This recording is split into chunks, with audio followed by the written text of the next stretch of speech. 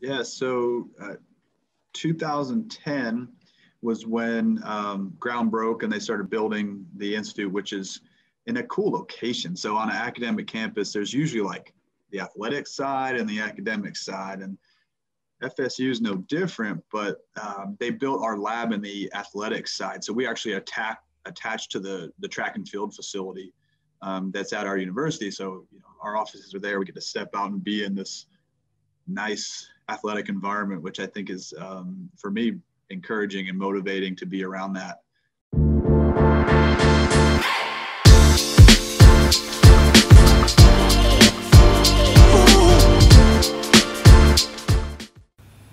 This episode of the Smart Athlete Podcast is brought to you by Solpri. If you're active at all, whether you're running or simply out walking for the day, you've probably experienced one of the number one problems that active people have, and that's chafing. Solpri's all new, all natural anti chafe balm solves that problem while feeding your skin the vital nutrients it needs to be healthy. If you'd like to stop chafing once and for all and treat your body right, Go to solpri.com to check out the anti chafe balm today. That's S O L P R I.com. Welcome to the Smart Athlete Podcast. I'm your host, Jesse Funk. My guest today has his PhD in bioenergetics. He's currently an associate professor at Florida State University, where he is also the associate director for FSU's Institute of Sports Sciences and Medicine. He played ice hockey in college and has over a decade of experience in endurance competitions. Welcome to the show, Dr. Mike Ormsbee. Thanks, Jesse. Looking forward to chatting a little bit today. Yeah, thanks for hanging out. I know got a busy schedule. As we, before we got going, you know, you're talking about, um, you know, you got meetings, you got kids, you got, you know, uh, people under under you working with you in your lab, all kinds of things going on. So I know um, you probably have even a busier schedule than I do. So I appreciate you taking the time out of your day to just hang out with me a little bit. Yeah, you're welcome. You're welcome. So I have to ask. Uh, so if you're not on the YouTube version, you're missing out. You don't know what I'm talking about. But I have to ask about your hat, Mike. What's the deal with the hat? What's the what's the acronym going on? Yeah, so these are uh, we try to do something to get the labs uh, motivated and excited, and everybody likes a swag bag. So this is just swag from the lab. That's the Institute of Sports Sciences and Medicine. Okay. Um, you know, year that we were established, 2010, and uh, yeah, we, do, we try to do shirts and hats and stuff for my team, so everyone stays into it. Yeah, you, you that's you bring up a good point, which I don't think about so much, but there's something about like a team uniform. You know, like everybody's got the same thing that really unifies a group of people, which it's so on the surface of it, you think it's kind of silly, right? Like, oh, just everybody put on the same hat, but it's like, no, like this is our thing. This is our group. I don't know. There's something I'll say magical about it, but just maybe I'm reminiscing, having a little nostalgia for college and, and that whole thing. But th- there's definitely something to that. Yeah, it's it's just a fun thing that we like to do, but I think it's it's everywhere. If we have someone show up to our facility and we're branded and look nice and have uh, you know, some of our logos around the facility, it just creates an atmosphere that that people like to hang out in and and uh, aren't afraid to come into, and it uh, you feel part of this this organization that we've created with uh, Institute of Sports Sciences and Medicine over the last ten years. So we try to do it. I think it works pretty well. Yeah. So you're telling me um, you're running a lab. Uh, I assume that's under the umbrella of the institute. Um, so, how does that whole thing get going? Did you start the institute, or were you there ten years ago? Did you come on board afterwards? How does that story develop? Yeah, yeah. So, uh, 2010 was when um, ground broke and they started building the institute, which is in a cool location. So, on an academic campus, there's usually like the athletic side and the academic side. And FSU is no different, but um, they built our lab in the athletic side. So we actually attack, attached to the, the track and field facility um, that's at our university. So you know, our offices are there. We get to step out and be in this nice athletic environment, which I think is, um, for me, encouraging and motivating to be around that.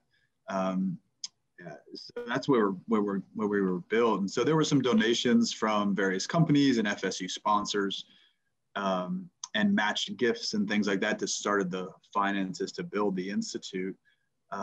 And I came on board the exact same time. I didn't start it or have the seed for it, but the year I came, it was being built. So I, I came to FSU in 2010, right when the facility was underway. So it was nice to be in from uh, the grassroots level. And at that point, I was just starting um, in this in this uh, uh, world of academia, you know, and and so I was I was there, but not a not a leader in what we were doing.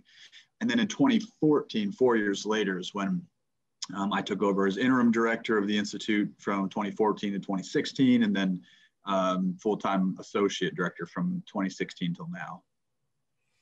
So well, I guess what are you doing day to day? Are you still in the lab? Or are you just directing people around and seeing what's going on? God, yeah, it's changed over the years. Um, I used to pride myself on knowing the ins and outs of every piece of equipment and mm-hmm. how to do every every single thing. It's just morphed. We're, we've grown so much over the years that it does it does turn into more of a managerial position. Um, but I still like to get my hands dirty. There are some techniques that are complicated or invasive that I need to be present for mm-hmm. um, uh, on every occasion. But a lot of times we're, we're working on getting grants and, and money and, and ideas so that we can fund the lab. And once we get the methodology written up, I'll be as hands-on as I need to with with each uh, uh, doctoral student or postdoc who's running the study until they're fully capable of running it themselves. And then I'm just kind of on call if uh, if they have an issue or something. But typically for the first while, I'm completely hands-on and then sort of back away and start the next project and the next project. But we've grown a lot over the years. Right now, we've got roughly six PhD students, a postdoctoral fellow, master students, and then uh, volunteer undergrads. COVID sort of changed some of the dynamic, but that's generally the setup that, that we've got at our facility. You know, as, as I was thinking about it, I, you know, it's something that it didn't really strike me. And, but as I thought about it, I was like, almost like a duh moment where you're talking about your PhDs and postdocs doing the work. And it's like, okay, well, yeah, you're in charge and you're kind of helping direct this, but those people, this is not their first rodeo. This is not the first time they've ever been, been in a lab by any stretch of the imagination. Um, and even though they're kind of under your direction, it's not like, you know, I, I didn't go through to PhD level. I just did my undergrad. I didn't end up continuing. So just sometimes my frame of mind forgets, hey, like those people have been in school for probably eight or plus years, you know, collegiately. They've they've got plenty of training. It's not like taking like a, a freshman undergraduate and putting in the lab and having to babysit them. Um, I don't know that I have a point. More so, just as like a, a personal, uh, not quite a revelation, but just oh yeah, there's people that really do know what they're doing and don't need all the direction, even though you are there to assist if you need it. Yeah, it, you know, we still have that though because we do. I mean, ultimately, as uh, as an academic, you want to help everybody and, and every level. And I I had a great myself undergraduate experience with research, so we do take on a lot of undergraduates who don't know mm-hmm. anything about it. But there's a long process there. It's from volunteering and sort of observing what's going on to generally, you know, getting more familiar with how to use some of the equipment to mm-hmm. interacting with actual human subjects. And and uh, some of the students began as undergrads came on with me as master students. And so by that point you've trained them up for three four years before they um, are fully you know going with their with their projects. Mm-hmm. um, but that's one of the fun parts is mentoring all this all the students through and seeing where they are now. We've had almost 10 phds uh, graduate from my lab and move on to other areas and it's just uh, it's really rewarding to see you know where, where they've landed and the, the careers that they've now are are running and flourishing with. So that's a that's a pretty neat part of the job. Yeah yeah.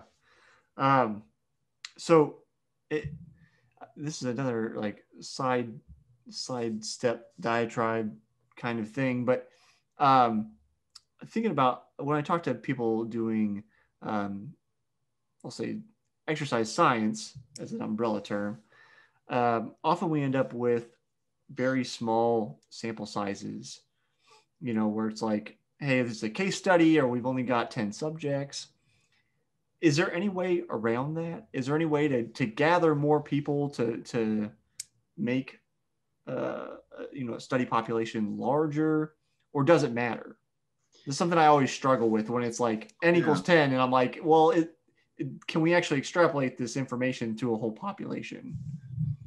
Yeah, I, I, it's pretty much context driven, but we can kind of go through some of the context of it. Sure. I think it's important. Um, in exercise science, particularly in performance nutrition, which is where our group tends to specialize, um, yeah, you're just oftentimes you have very low n, so low subject number uh, involved in the studies. Now, as a scientist, you learn how to statistically before the project begins. You do what's called a power analysis, and you you use any other old already published research that exists, and you can run this analysis to see how many subjects do I need to have in order to see a difference if one is going to exist.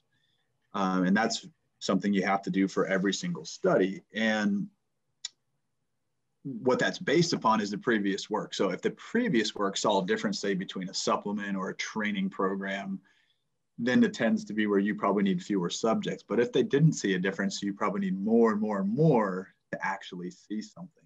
Mm-hmm. Um, the other part of this is who you're working with. Sometimes if you're working with general population, you can get many more people. Mm-hmm. But if you're actually trying to work with elite athletes, there aren't that many. Right. And if they are elite, chances are they're not going to want to do some other um, eating or supplementation yeah. or training strategy because what they've been doing works for them. And so when uh, when I see research that's on very high level athletes, um, yeah, the first thought could be, oh my goodness, there's only six or seven of these people. But then you have to think that's very difficult to even get those folks to uh, commit to working with you. Um, you might be able to do it for like an acute study in an off season, but if you're doing a training study or anything that requires weeks of time or months or years, uh, that's really difficult to do. Um, we've actually morphed a lot of our work over the years um, to try to get elite athletes in one way or another. And oftentimes we use trained athletes, but it's so hard to get that elite group. There are very few people that actually work with the elite people. Yeah. Yeah. I know I remember, I wish I remember who I was talking to. It, it escapes me at the moment, but I do recall, you know, I, I like to ask this question from time to time. And I was talking with him about a study he was putting together on um, 10K runners. And for his subjects, he wanted it was either sub 32 or sub 30 runners, like pretty quick 10K runners, you know, not world class, but moving. And I think one of his professors, not directly over him, but in another subject, was like, Don't you mean like sub 35? And like that's kind of where his professor was in college. And that's kind of the mark at that time. He's like, No, that's not what I mean at all.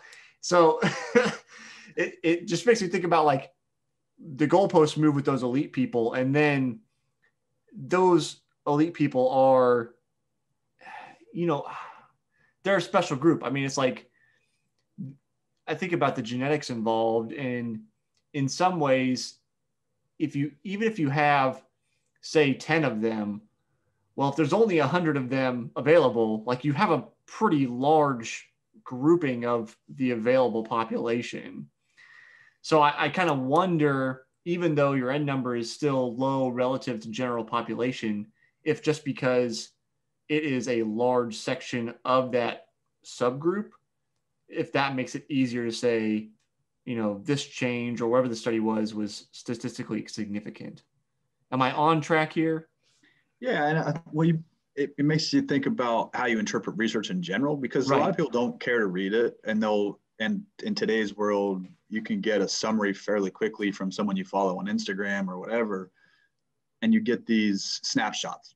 Mm-hmm. You get a basically someone's put together an ab, a picture of the abstract. Right. Um, we call those abstract scientists. So you get some information from that, but it, it can be misleading, especially if you're trying to generalize it to everybody. So that's important. You said statistically different. So there's a problem with that in performance research sometimes. So mm-hmm uh, the chance of me seeing a statistically different um, race time between two different nutrition interventions is extremely, extremely difficult to see because it could be seconds. Mm-hmm. And if it's only picking up seconds and you only have eight people in your study, chances are that's not going to be statistically different. Right. However, as an athlete, you know that two seconds is the difference between winning and losing, mm-hmm. the difference between first and eighth place in some cases. And so we really need to work on, I think, and, and our lab tries to do it, is developing people who understand the research but can translate it to the human population right. Uh, in a way that's that's um, understandable and friendly uh, and open and honest because we talk about statistically significant versus meaningly or practically different. Um, and there's a lot of really good research that someone might read, say it's not statistically different, it didn't work, and throw it under the rug. Mm-hmm. Whereas if I see it and it's a 1.5 second difference, and I can, you know, there's other ways to look at it, like effect size or all these stats terms. But if I see a, a second's you know one or two seconds difference and that, that's what i would talk about with athletes that uh, we work with or that have been in a study or or that we're um, advising in some way it's I, I think it's a matter of it, trying to figure out the the best way to translate that to the general population as I don't want to say it's it's like it's a good mission to have, and it's like it's in part kind of a mission of this show is to kind of give academics a platform and in some ways try to help have me be a little bit of a filter to bring it from to bridge from where you are to where general populace is. Although you probably do a better job at it than i do because you're kind of used to doing it. Um, but i think you make a good point in, in terms of I'm trying to be what did I say? I'm, I'm trying to be very strict with that definition of you know statistical significance because that's kind of like the holy grail, right, of research of like, hey, we saw it, like the math backs it up, and I have a math background, so I, I I lean that way. Um, but you, it's fair when we're talking about especially elite athletes, right, where you know to have a difference for them, just what they're physically capable of. Let's go back to like my 10K runners. If you're a sub 30, sub 30 guy, that's what you've been running for four years. And then Mike comes in and gives you, you know, a, a supplement of some kind. You're not going to suddenly go 28 minutes. Like it just physically isn't yeah. going to happen. So I think that's a fair point that maybe it's not statistically significant, but it leans towards there's a possible positive impact of whatever the intervention is, whatever that. Yeah, and is. we call that meaningfully significant. So a lot of people in sports sciences and um, exercise science and performance nutrition are starting to report their data in more than one way. Okay. And so they'll do the traditional way with obviously the p values and statistically significant differences or not, which is sort of the cut and dry. Mm-hmm. Um, but there are plenty of papers that suggest that's uh, either too rigid, especially for performance research, um, or just doesn't provide enough information. And so now a lot of folks are saying um, we should also include effect sizes. So uh, maybe it's not statistically different, but it's got an effect that essentially is meaningful or large. So you can have small effect, medium, or large effect. And um, that's where you sort of get into something differential statistics, where you start to say it's leaning a direction, it's moving a direction that's positive, but it's not statistically different. And people have argued about this. Academics love to argue about silly things and um, in my mind to just report all of it because then it's completely transparent you give mm-hmm. the raw data you give the different methods of reporting it and then everyone has all the information uh, and to me that's the best way you just complete transparency and you can show what you what you found yeah yeah um, thinking about things that people argue it about um, and this is one of the reasons i'm happy to talk to you You're talking about nutrient timing, which I think you've done some work on. Can you tell me a little bit about that? What should and shouldn't I be doing as a, I'll say a, a runner? I've kind of moved back to running versus triathlon now.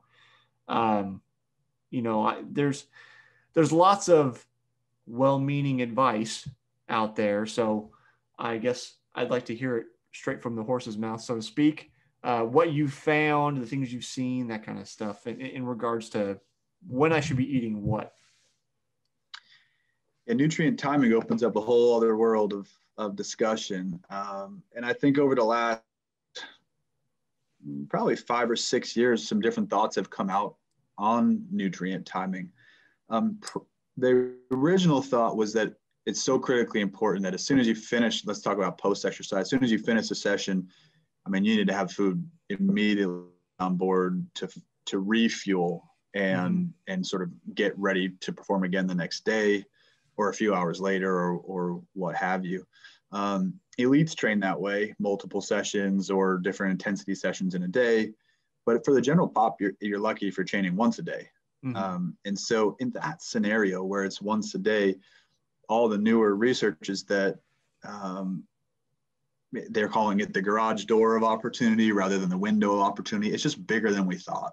Mm-hmm. Um, it is a good time when your body's sort of primed to absorb and take in nutrients and would use them appropriately to maybe optimize body composition as well as the next type of performance. Um, but we don't have to be hyper concerned about it. There's a, a, quite a large range. In fact, even like glycogen replenishment in your in your muscle, like let's say you purposely depleted it super low. If you eat immediately, it will get um, higher faster, which makes mm. sense. And that holds true up until about eight hours. And then once you get after eight hours, no matter how you ate, it still is normal the next day. So if you're just training once a day and it's, you know, 24 hours later, it's really not as important um, as we thought. With that said, there's other reasons to do it besides glycogen replenishment. Um, and even if you are sort of middle of the road former athlete like me, it's, I know there's a small advantage in at least in some parameters. So I tend to do it because it's easy there's no disadvantage to doing it. Right. Um, it just might not be as big as we originally thought. So, for those reasons, I still sort of prioritize timing that post exercise nutrition. Um, another thing that sort of complicates it is what you ate before your session. Mm-hmm. And so, if you came into that session underfed, purposefully or not purposefully, then the post workout meal would be more important. Um, but if you came in and you fed properly and you didn't do that fasted workout, the post out workout meal would be less important because you already had nutrients on board.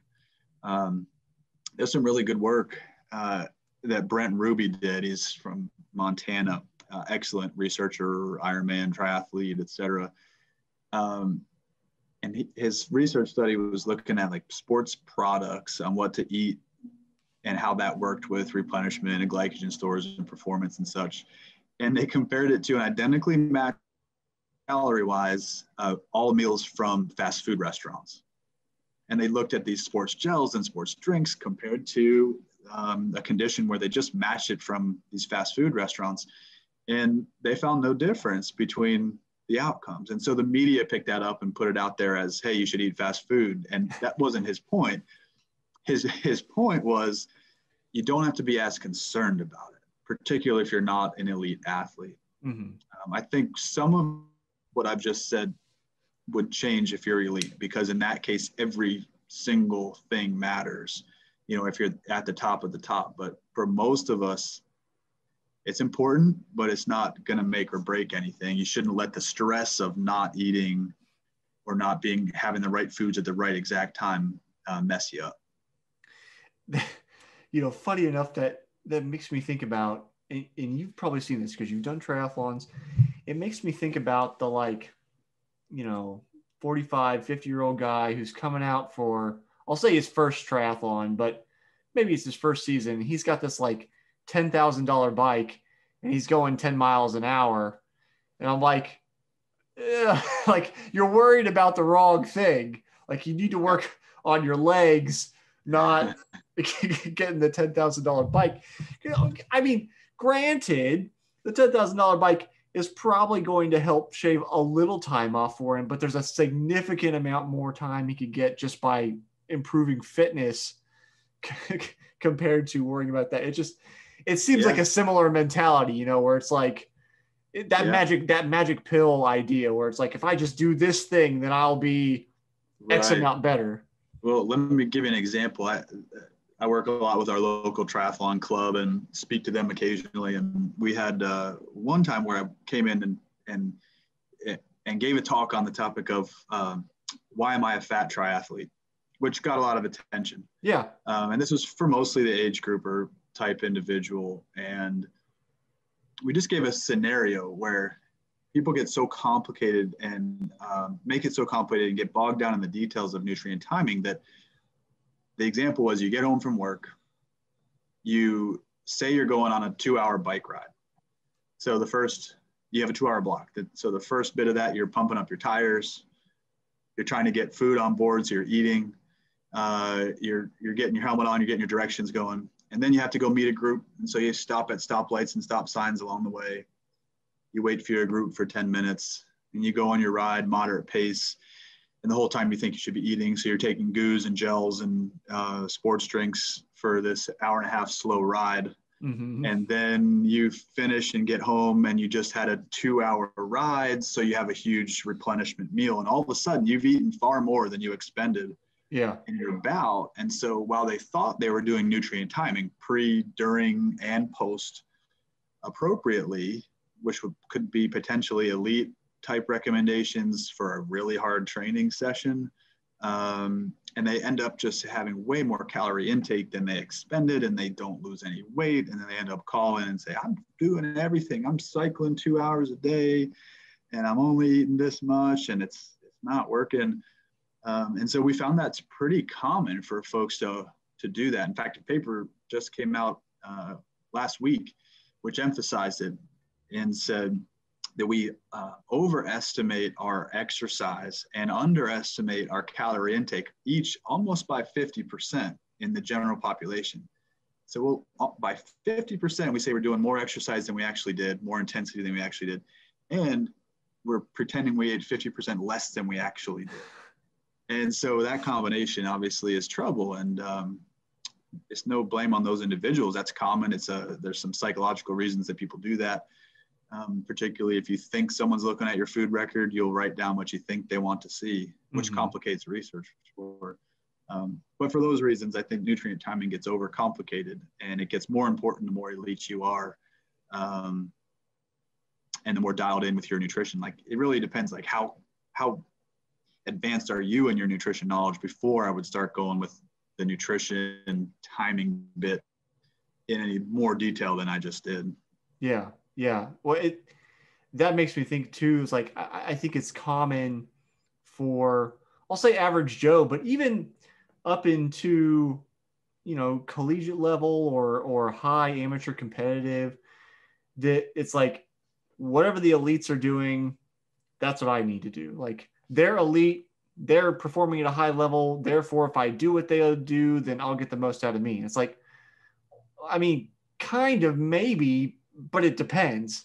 And that's always the catch all. Like I do, I have this other show um, just on running on the YouTube channel. So if you're on the YouTube channel, you can see that. If you're on the podcast, you'll have to search that out. But I, I don't know how many times I start videos because I answer questions and stuff, and I just say, "Well, it depends," and then I don't go on to enumerate because you know we when we seek out answers when we're getting on Google and we're like, "Should I eat this? Should I not? Should I?" run this way? Should it like all these things? We want a concrete answer, but the the fact of the matter is it depends on you. It depends on your training history. It depends on how fast you are. It depends on when you're doing something. Like it depends on so many things. It's almost impossible just to be like carte blanche. This is the thing everybody should be doing. You know, and I think that mentality is really pervasive, especially you know as companies push products and they want to sell things and they're like yeah, this is the thing for you, and then you get convinced like this is the thing for me. It, yeah. It's kind of this cycle. Yeah, it's it's really easy to get to get into that. I mean, so many people do, and they struggle with it. And um, yeah, it's unfortunate. That's just part of what everybody deals with. Really, it's easy to get sucked in. There's really good marketing. Uh, you described a few examples. There's others, just you know, documentaries that people watch. They mm-hmm. look, they sound so convincing. You can watch one and be convinced to do something completely different you've ever done. But there's another side of the story. In most cases, those are meant to make people watch, not to tell you the science. Yeah. Um, and you find that kind of across the board, no doubt. Yeah. That that makes me think about um, you know, gosh, when did that book come out? Born to Run. Well, maybe it was 2008 ish, somewhere around there. But I mean, you know, it changed. It was like everybody and their mom was taking their shoes off and running barefoot and and running barefoot on pavement. And you know, I worked at a, a shoe store fitting shoes for people both for runners and people with medical conditions um, for a few years after college as I kind of pursued my own athletic endeavors. And I would have like very overweight people come in and be like, I want the most minimal shoe I can get that was, you know, basically similar to Vibram Five Fingers. Yeah. And it's like, you know, it was like, okay, well, where are you running? Well, I'm running down the street on the pavement. It's like, okay, well, you're, you're overweight. Like it's not, it's not trying to be mean, but just the right. the physicality of somebody who's overweight, the amount of pressure they're putting on their joints, the lack of forgiveness in uh, like a concrete cement environment.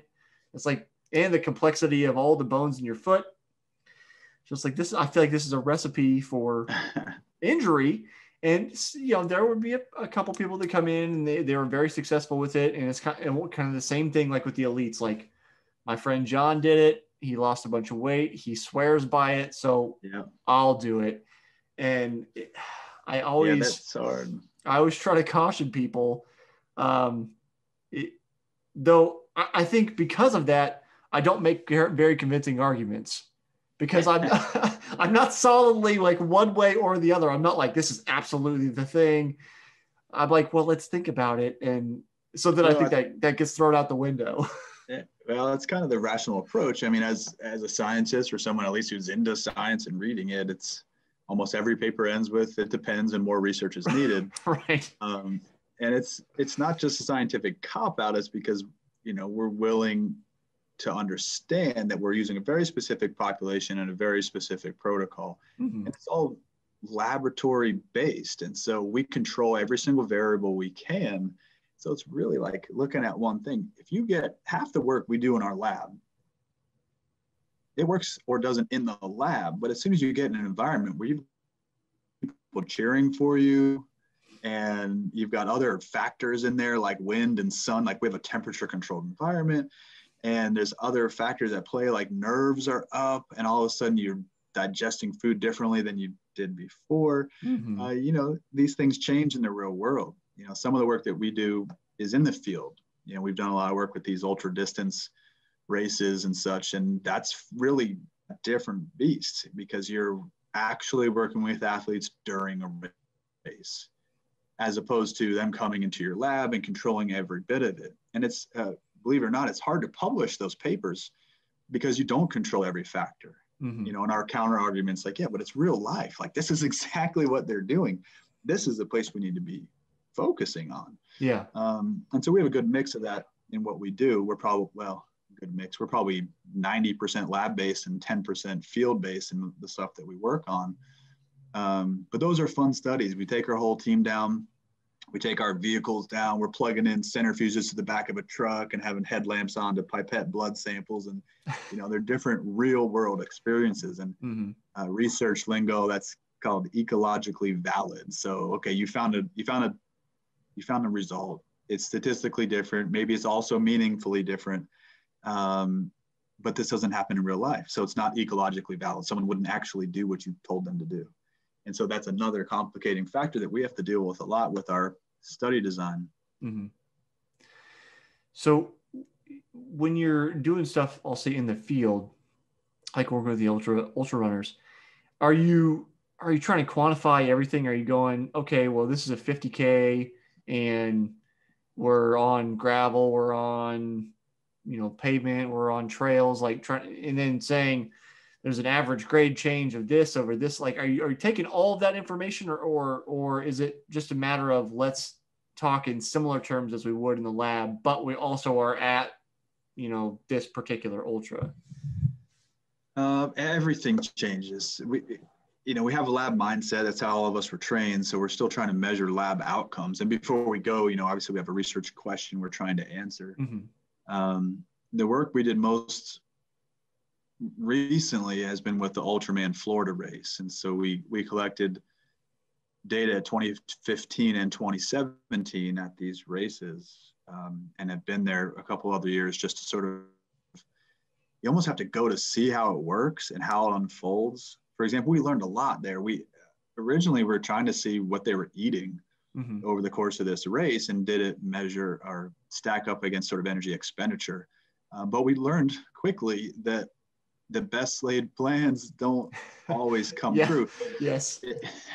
In this race, there's a crew following the athlete for three days straight. And so it's a great, the crew can keep track of the food and just write it down for us. You know, and then we came into issues that we just didn't anticipate. Um, so the athlete has a number of bottles, they know exactly what's in them. We're like, this is perfect, but one falls off. Mm-hmm. They drink half of one and uh, or they're being nice and they give it to another athlete who needs something. How much did you drink? I've got no idea. Or what they had in the truck spills and all of a sudden now we have no idea what you ate. And we came into that over and over yeah. and over. so we couldn't actually use any of that data. Um, and then we luckily we had blood data. So before the race and after the three days we took another blood sample to see what was changing in terms of um, inflammation and any kind of muscle uh, leakage or breakdown that might be occurring over that race. Um, and then we we just didn't know when we could get the samples. You know, some people would finish the race and they were so dedicated, they were amazing. They'd literally come across the finish line, walk over to our little tent, flop on the ground, throw out an arm, and we take a blood sample, and then they go on to eating and celebrating and things but other people didn't. You know, it was their time to finish with their families from all over the world, and they start celebrating. And then we have to go like, "Hey, can you leave your family and like come over here and get a blood draw?" And they're like, "Yeah, no, I'm. This is the best thing I've ever done my whole life. I'm not going to stop." You know, so we've we run into all of it, and um, it's been a real pleasure to work with those folks. But it's changed our design. and We have to really think about what's feasible in that type of an atmosphere. Yeah, yeah. Well, I mean as you were saying that the best laid plans, it, you always, always, always, always try to plan out your race. It doesn't matter. I mean, you've done 70.3, so you know, like it doesn't matter whether it's a 5K or a 500K. Like you're going to plan out the best you can. And often, everyone, you know, something's going to go wrong. Something's not going to work out. You're not going to feel it. It's going to be too hot, too cold you need this like and you have to adjust. And then i think especially when you're talking about ultras your brain's just not going to keep track of all that stuff like it's working at 100% capacity just to keep you moving and eating and doing all those things let alone memorizing oh yeah i drank half a bottle and then i threw it at mile 30 and then i picked up a banana instead of having the gels i promised myself i'd have and then i ate i drank a cola instead of having Gatorade or whatever. You're like, yeah, exactly. The whole thing out the window. One of the years I was in a van, in one of the vans, following a type one diabetic athlete, and I, the plan was every two hours I would jump out of the van and take a finger stick to get his blood levels, and hop back in the van and keep following him, and it it worked fairly well. But I mean, there's a few times where that he would say we'd stop and what'd you eat? I'd look at everything and i was doing it. So like oh i'll definitely get this. No drop the bottle. I was feeling tired. So someone handed me uh, a monster uh, energy drink on the side of the road. I'm like oh my goodness. So all these different shifting variables um, came into play. And even when i was doing it i couldn't keep track of it with mm-hmm. everything going on and trying to keep up with them on the race. And the driving route versus the actual route were different. So those things uh, complicated, but they make it so much fun. It's a it's a really cool really cool area. I know, you know, you said like, what's a thing you can do? You know, you want to finish this, maybe give some advice to somebody. And what a, a big component of what my lab does is we focus on the time of day of pre-sleep, like right before bed, what to eat. Um, and, and particularly focusing on protein intake at that time of day.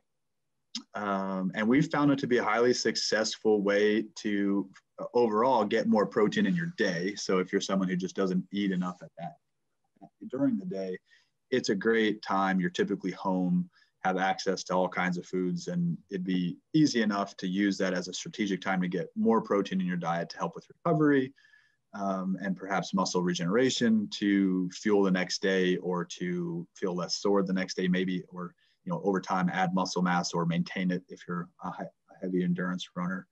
Um, so we've found that strategy to be pretty useful, and also we've found it to add no uh, fat. So there, there we've, we've done a number of different ways. There, no one's gaining fat from this. Um, there's not even any changes in the way we free fat from our fat cells. So you would think if you eat before bed, it might stop that process. It didn't, and it hasn't. And we've done it in a number of populations over 10 years, and um, it seems like a pretty universal way to do it. You know, some people artificially put these cutoffs, like, "Hey, stop eating at this time or this time," and for an athlete, that can be dangerous because you train at all different times a day. Um, we have to think about a 24 hour cycle of nutrition for an athlete because it's not just about those things like weight and such. It's about fueling your next uh, day or your next race or your next training session. Um, and so for athletes, we, we recommend it highly to, to use that as a time, the pre-sleep period as one last feeding strategy to put some protein on board so that while you're sleeping, you can repair and regenerate um, through the evening. So that's been a strategy that's been pretty good uh, almost universally. We haven't seen any issues with it, with the exception of uh, women who are already uh, on the verge of diabetes, and and and they had some issues handling anything else at that time of day. It was totally ameliorated when they started exercising three times a week, but when they were sedentary, there was a small rise in blood glucose that they didn't that group didn't want overnight. Mm-hmm. But if there's a strategy to help in, in everything, I feel like that's uh, some low hanging fruit to go after. Yeah. Well, I appreciate you sharing that. Um, Mike, as we're rolling down on time and I got to go here soon, um, there's a question I'm asking everybody this year. Uh, you may have seen my previous season's question, uh, but it changes every single year. So this year I'm asking everybody, uh, how do you stay motivated after you fail to reach a goal? Hmm. You know, it's funny you ask that. I've just uh, read this great book called Grit. You probably have read it. Um, Angela Duckworth, right? It's a good book. I, um, I know I haven't read it though. Yeah, it's it's it's maybe not something you haven't heard before, but it's about developing grit with um, uh, long-term motivation, perseverance, the stick to it uh, ability, how to keep fighting when you get down. Um, for me, I'm lucky in a number of ways. Is that a very general interest in exercise and sport personally ultimately turned into this passion for it that I just love. Um, and so I've been lucky that I have that ability to just have a grittiness about always stepping up and standing back up and continuing on. So I feel like there's something sort of inherent with that. Um, but I practice it. You know, we as a researcher, you fail daily. You don't get a grant, your paper gets rejected um, over and over and over. It's funny because you highlighted some successes that we've had, and that's what we're known for, but they are far fewer than the failures that we've had. Um, and so, yeah, getting back up, I think it's part of a leadership mentality. It's um, trying to show my students, my staff, my children that that's the right way to go is just you just keep trying and get back up and keep going. But certain this passion that I've got for what I do and um, a perseverance that's just driven by wanting to put my lab on the map to be the best at what we do um, drives me each day. I appreciate the answer. Um, Mike, if people want to see the research you guys are up to, um, is there any way to get in touch with you? Any of that? Where, where can people kind of keep up with what's going on? Uh, yeah, thanks for asking. Um, uh, so the Institute has a website. You can just Google like FSU, Florida State University, and then ISSM, Institute of Sports Sciences and Medicine. You, you can see the lab, see pictures of what we have, the videos, the staff, and everybody who's working there. Um, most of our research we put out on, well, you can obviously find it on PubMed or Google Scholar, just searching my name, uh, Ormsbee would get you a whole bunch of, of hits there. Uh, and then social, you know, all the social media stuff. Uh, we have a pretty good following at um, the ISSM handle, which is at FSU ISSM. And then my personal one, I put a ton of research out on um, upcoming events, things that we've been working on. It's generally good to follow on Instagram or on uh, Twitter, which is just at Mike Ormsbee. Uh, you can find it pretty easily there. Awesome. Thanks for hanging out with me today, Mike. All right, you got it. Take care. Thanks for everything.